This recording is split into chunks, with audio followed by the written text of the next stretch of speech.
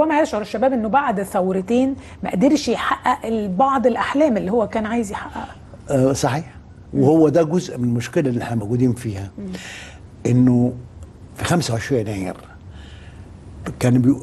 كل الناس كانت حاسة انك انت قدام شباب the sky the limit السماء هي الحدود.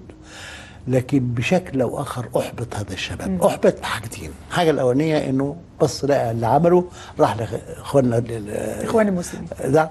راح للإخوان. راح الاخوان وبعدين الحاجة الثانية إنه جاء تصحيح لعملية الإخوان لكن حتى الآن من صحح أو التصحيح لا يزال يعبر عن أماني ورؤى